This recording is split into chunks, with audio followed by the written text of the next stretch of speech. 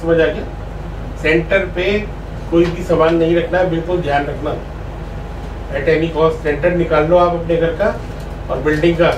वहाँ पे अगर कुछ भी रखा हुआ है तो उसको तुरंत हटा दो आप। ठीक है?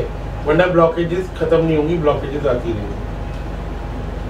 और कोई भी ऐसी जगह मत लेना जहाँ पे कोई टॉयलेट किचन और ये सब सेंटर में बना हुआ सेंटर जितना ओपन रखोगे, उतना आपको बेनिफिट होगा। हमेशा।